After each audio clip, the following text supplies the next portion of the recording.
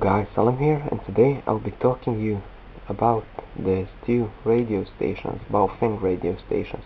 This one is a B5 and this one is a UV3R+.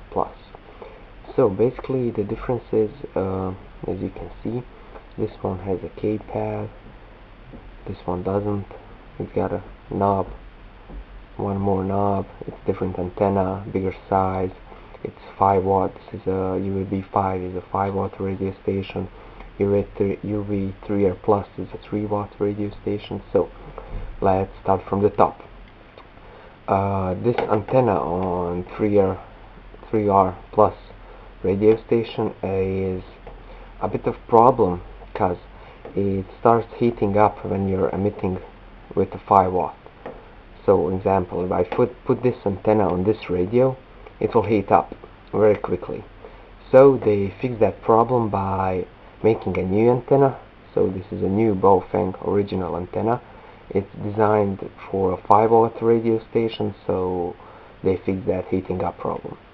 So second thing, these two knobs here, this phone knob and this knob, are doing the same thing on the both of uh, radio stations. They are switching frequencies step by step and they switch the menu uh, this one this knob right here is an on knob and a volume knob. So you basically turn on the radio station Welcome. and you will change the volume. Okay so this orange button here is an alarm button. Same thing we got here on both of radio stations. Uh, the two LEDs that indicate are you receiving or transmitting if you're transmitting the LED will be red. If you're receiving the green of course. So next thing we got a keypad here and only four buttons on this one. So keypad makes things much easier.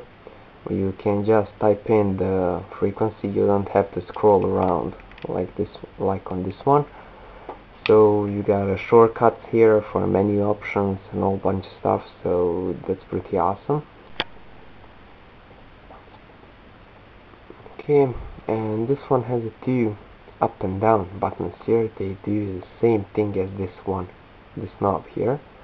Now for the sides. Okay PTT button and this one has a function button and an alarm button. Basically they are both on the same button. And if you hold it will start an alarm. If you press it once it will turn on the function button. This button down here it's a FM button and a FM button and a light light button. This little LED up here. So on this one you got a PTT button a button that opens up a squelch basically when you press, press it your squelch to zero and the third, third button that does nothing. Now for the other side they both have um, two ports.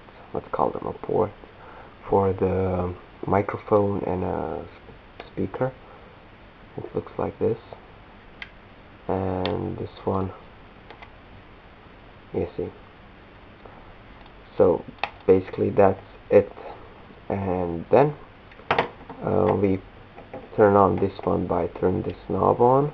Welcome. and it says welcome. By uh, we turn this on by holding this orange button. And it says DC 4 4.1 volts.